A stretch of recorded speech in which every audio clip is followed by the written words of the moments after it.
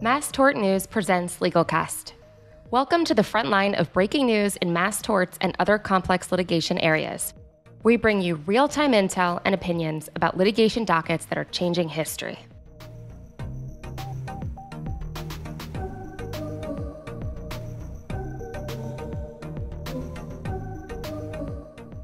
Sara Papantonio gives updates on NEC litigation, including initial discovery, defense strategy, and insights on bellwether selections.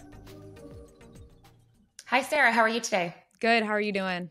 Well, thank you so much for joining us. So, uh, wanted to talk today about uh, the NEC MDL and was hoping that you could give um, a little bit of a recap and let us know what's going on. What's the update? Absolutely. We are full steam ahead in the NEC litigation. And and the great aspect of this case, the great part of this case is that the defendants, Abbott and Mead Johnson, are feeling pressure from virtually every angle. You have the federal litigation, which is what I'm a part of. You have the state court litigation, which has been moving for the last year and you also have an additional litigation. So you so what came out in this last year is litigation against Abbott for um, a Similac recall. We all saw it in the news. You know they had to shut down all of their plants essentially because their manufacturing processes were devastating. So you have bad publicity against these companies, you have litigation against these companies, and you've got great trial lawyers fighting for these parents and children who have suffered tremendously at the hands of these companies. So it is all very exciting.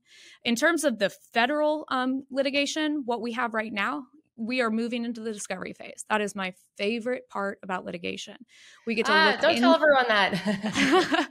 we get to look into Abbott and Mead's file cabinets, figure out what they know, when they knew it and how long they have known it for. And so that is that is it's all very exciting it's all very new but we have a very very advanced timeline here. Wow and and just curious because i i might also admit that i like the discovery phase too. Uh, are you currently arguing about uh, you know time time period or the scope of discovery? Is is that what's happening right now? So you know we always say we've got an advanced timeline for discovery and then these all these fights come up. We are in the midst of some big discovery battles and that has a lot to do with some of these companies preservation guidelines and protocols. And so we're not seeing what we think we should be seeing in the discovery and in the production. So we are taking those up with the defense and, we're hopefully going to get in a place in the next couple weeks where we have a full and comprehensive scope of discovery. And that discovery here is extensive you know because our position is that they were on notice and had knowledge of the increased risk of nec when exposed to formula uh, as far back as the 1990s so i mean we're talking 30 years of documents and and that is a fight with companies like this also a lot of paper cuts because in the 90s we didn't have electronic discovery, right? Yeah, but that's when the best documents uh, come because the, the the defendants start to learn in the 2000s and 2010s that they they can't put things in writing. So that's why we want to go far as far sure. back as the 1990s as we can. Well, uh, it sounds you know frustratingly exciting, um, and hopefully you're able to uncover what you need to build to build up your case. But it, it sounds like uh, you've got, you know, the whole team has a lot of, uh, you know, preparation and, uh, you know, is, is, certainly ready to get their hands dirty, um, you know, and dig into whatever you've got. Um, what else, uh, what other battles or obstacles are, are you running into or disputes rather? So I, I, would say our biggest battle right now is just the the time frame we are excited that we have a judge who wants to move these cases so quickly. I mean, that our, our, primary goal here is to recover for these parents and these children as quickly as we can. Uh, time is of the essence and, and it is moving fast. So we have to develop this case as quickly as we can. Right now, the close of our fact discovery is in April, and then expert reports will be due somewhere in June or July, and then we will be going to trial in the first quarter of 2024.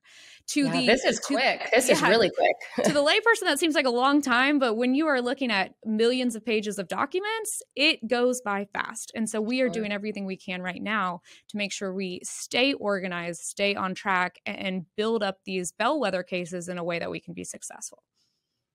Wow. I mean, that's quite a task to organize. I mean, the sheer volume of documents that you know you'll have before you, but also organizing you know all of the different attorneys involved and, and parties and and yeah that that does seem like a long time i suppose when you're in the thick of it as a plaintiff um, you know or a defendant but more so a plaintiff but but really in, in lawyer years that's uh, that's a blink of an eye absolutely and and you know I would say the second biggest battle is who we're up against as well. You know, we have yeah great attorneys on the other side, but these are the attorneys who represented big tobacco.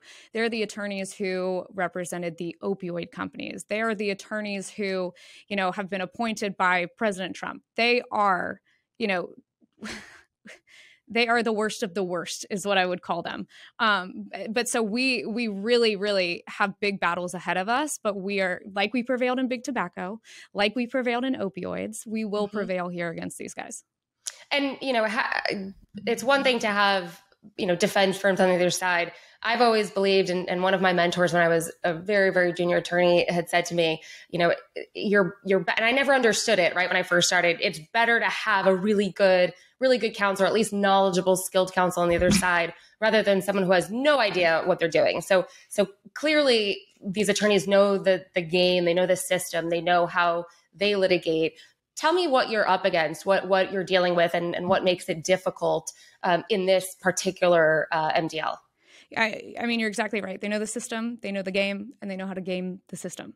And um, so, a nice light read, which I would recommend everyone watching this should read, is a book called uh, "Servants for the Damned." It was written by David Enrich, and this is a book that focuses on Jones Day, who is the defense that the defense counsel that we're up against. And it is appalling. I mean, it will make you just red reading it. Essentially what it says is is that this defense firm has a decades long history of of cheating the system, right? Of gaming the system. These are the people, like I said, who who argued big tobacco cases. They are the people who argued opioid cases. They are the the the Trump appointees. They are the people who are dictating politics right? They are fully ingratiated in, in, every aspect of society. And that's who we are fighting against. And so it's kind of a, it, it's really eye opening to see what goes on in these defense firms. I mean, we know it, we see it, but for people in the public who are not used to coming to the table and fighting like this each and every day, it's a lot to fathom. And so, you know, we're ready for it. We're excited for it, but it it is an uphill battle. And what I mean, I you know, it's not a secret. I, I used to be in, in defense, although not at Jones Day, um, at, at, defense firms, and certainly they work differently than plaintiffs firms. What what specifically um, are you talking about, or, or what sort of I hate to use the word tactics, but what sort of um, strategies are you combating right now that are you know proving to be again not a challenge, but let's say interesting so I, and you know I, I hate to offend i know you came from big law and now you are on the bright side of things you're not so going to offend have me. you here That's we're here but you know these are the type of people who at the end of the day when they come home from from working on this nec case and if they can say hey look I prevented a mother who lost her child, or I prevented a child who has debilitating life injuries from recovering in this case. They call that a good day that is what they will celebrate at the end of the day. And that speaks wonders to the type of lawyers who are trying these cases. You know, their ultimate goal in big tobacco was to prevent thousands, if not hundreds of thousands of people from recovering for the you know the life-threatening cancers and life-threatening illnesses they got. Their goal was to keep addictive opioids on the market for as long as possible and get more people addicted. And oh, by the way, let's just change the whole public narrative so people don't know how addictive the and how dangerous these products are. You know, it's the it's the mindset that we are against. It is this idea that we are trying to do whatever we can to prevent the people who have been terribly injured by a product from recovering in this case. And I would say that's the biggest battle. I mean, uh, the people across the table from us are absolutely brilliant. They're absolutely brilliant, but they are they are cheeky and they are slimy. And I, and I think that, uh, like I said, this book, Servants for the Damned, is a great uh, look into that. And so, uh, you know, I, I hear what you're saying, and I completely. Um, you know, I don't want to say I agree, um, and I don't want to say I disagree. Um, there certainly are attorneys that might think that. Um, I don't believe that every attorney goes home and says it's a good day because of that specifically. Um, in part because as junior attorneys, at least, right? And that's not who you're dealing with, but junior attorneys may not even know what the larger picture is because they're, you know, siphoned that type of work. But um, let's just, just, you know, slide that aside for for a minute. Um, are the are the parties at least coming together and working towards some sort of bigger goal you know, clearly the defense doesn't want this to proceed to trial so quickly, right? They're obviously trying to drag their feet and and lengthen that time. They don't want you to see all of the documents that they may have, right? You know, there's there's those sorts of strategies, but um, you know, what about the collaboration and uh, you know, has Judge Pallmeyer said anything uh, about that? Um, you know, I, I, I know that judges love when attorneys go out in the hallway and come to a, a you know an agreed uh, you know path forward. It, is any of that happening here, or is it really um, really adversarial already? No, you know, we've got a clear path forward. You know, we have, a, I would say, a good relationship with the defense, and, and, we will give and take where needs give and taking. Uh, that being said, we are the beginning of the discovery phase. So this is when things start getting pretty adversarial, uh, and and we're starting to see that. And in uh, four months from now, when we we hit that dis- discovery endpoint, I might have a different answer to that. But for the most part, both parties do want to move this case. I think they want to move this case for different reasons, but they do. You know, you've got Abbott and Mead who are just really at the very bottom in terms of a public opinion of them right now. Generally speaking, infant formula companies uh, can ride on public opinion right? Because they are feeding the babies. They are providing nutrients to families. They they get to flash the ushy gushy commercials that say you know this is my beautiful child and, and look how he's fed. But in reality if you take a deep dive into these formula companies kind of background i would compare them to a big tobacco to a, uh, a an opioid company in terms of their marketing tactics, in terms of their advertising. I mean, the the formula companies, like we said, get to hide behind those those great commercials and, and great PR. But in reality, they are doing all the same things that we saw some of the nastiest companies in, in society do.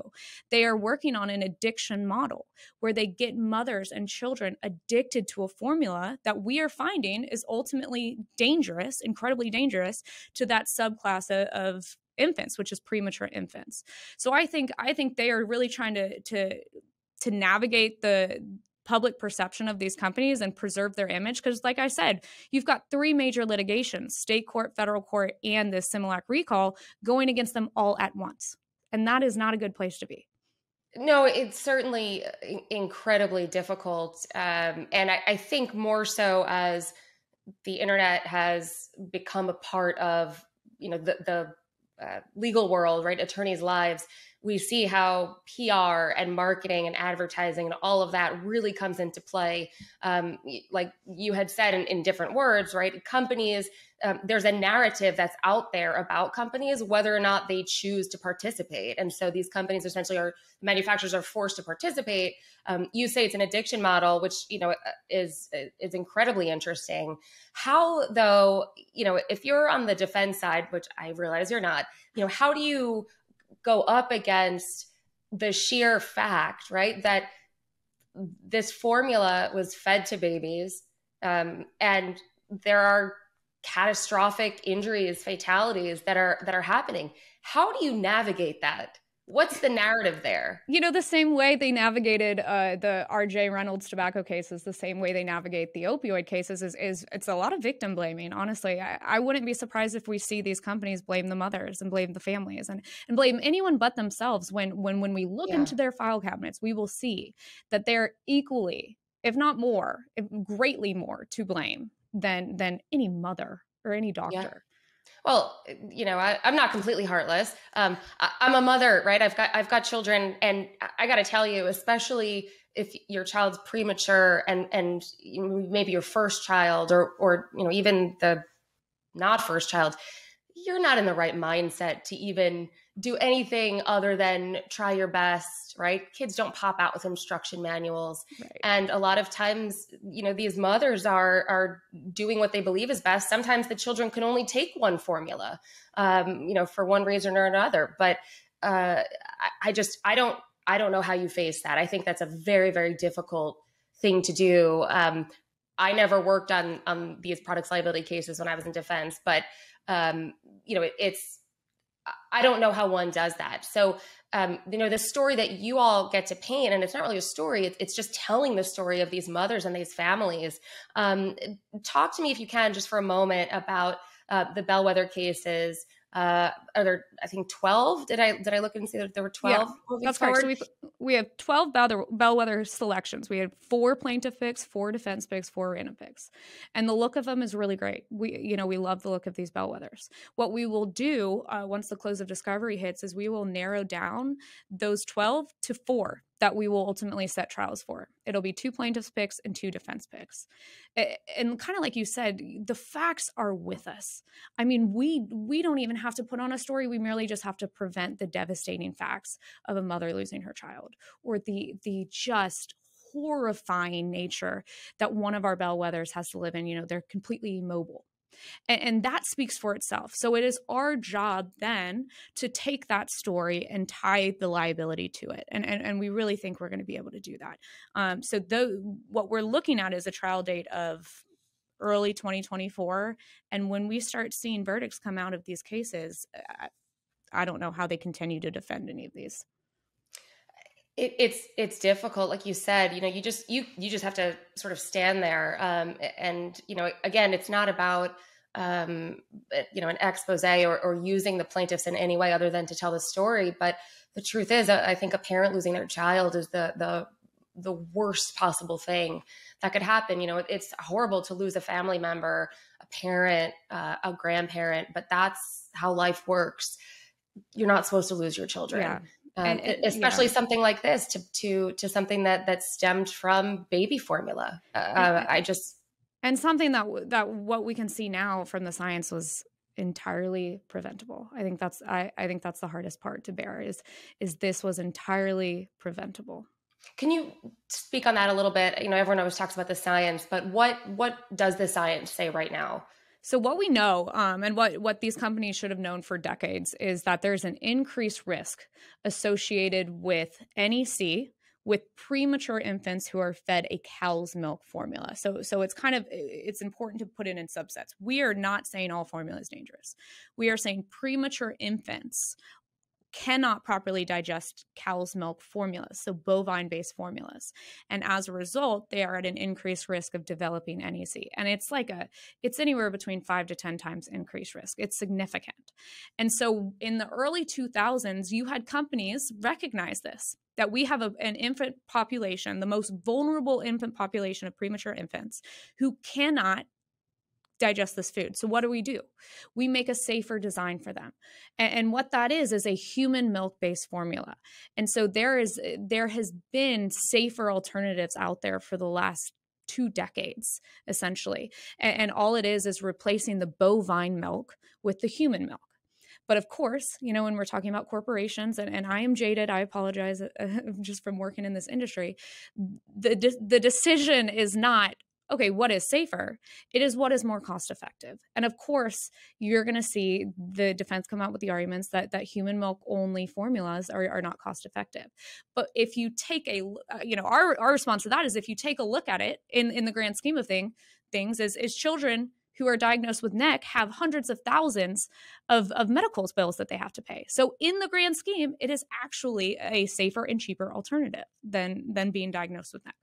Right. And what's that just because I have no idea and formula is crazy expensive as it is. What what is the human milk forget how it's made, but what is the human formula um, price comparison uh, when you look at human versus bovine? I actually can't give you the exact number right now. It, it's probably a few times higher than a formula based, but but here's kind of where the shift happens. It's not like the the mothers are, are paying this out of pocket in the NICU there's actually a marketing scheme and strategy that's set up by these formula companies where they give hospitals formula for free. And that mm-hmm. kind of ties into that addiction model that I was talking about. So they give NICU nurses and, and doctors free formula so that they can create brown, brand loyalty in the NICU. So that when the mother finally is able to, to take that child out of the NICU, they say, oh, well, he was fed Similac. So I'm not going to change his feeding pattern after that traumatic right. event. And it creates right. brand loyalty for the first child, the second child, the third child. And that's really why they start with that free product in the hospitals because they want to create that model down the road. So, in speaking of cost, it, it's it's you can't really compare it because of that kind of scheme that these guys have in place. It makes sense, and you know we see that with you know hospitals doctors offices i'm thinking of you know being sent home with uh, a particular kind of diaper you know that sort of thing and and it makes sense if it if it works then you know let's continue to use it. Um, but but certainly a lot uh, that will come out when all of the documentation is um, you know is shared and and you're able to rifle through it. Yeah and um, listen just to put that into perspective sorry no, this idea of, of free formula being given to hospitals is totally isolated to the united states.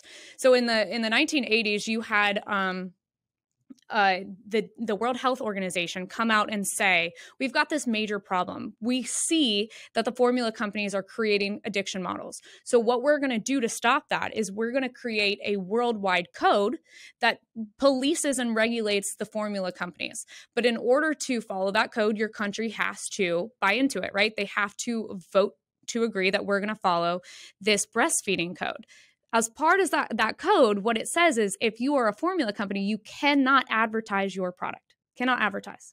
You cannot give free samples. So out of all the countries in the world, guess who's the one who did not vote to follow that code? The United States, right? Because that is their entire business model. And I feel like that story, that narrative, just speaks to what what the bones of this case look like. it, it is really just a story of greed and power and control here.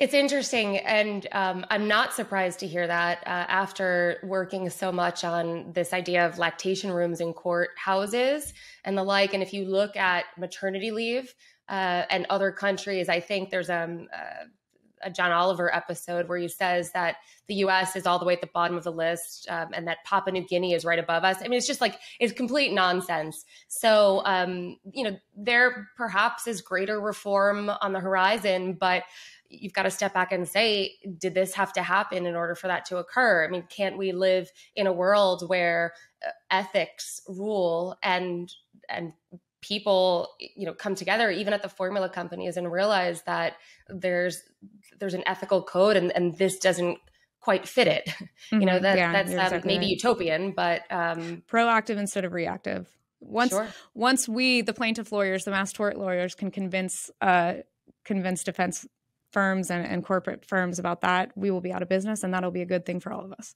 Yeah, well, I, unfortunately, there'll probably be something else for you to work on, or unfortunately, unfortunately. But yeah, I mean, it, it's really you know between that and then the recalls of of various formulas, the shelves are still somewhat empty um, when I go shopping, mm-hmm. and I just every time I walk by, I just think about these cases and the parents that are struggling so hard uh, it's it's really unfortunate. Um, but um, we're really grateful to be able to talk to you and, and get uh, sort of inside your head a little bit.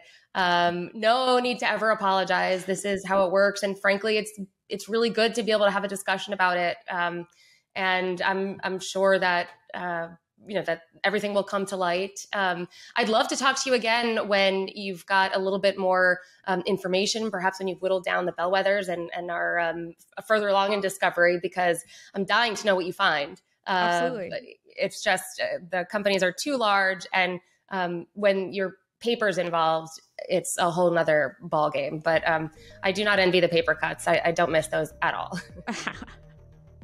Sara, thank you so much for joining us um, on Mass Tort News, and we'll be in touch. Thank you. Have a good one.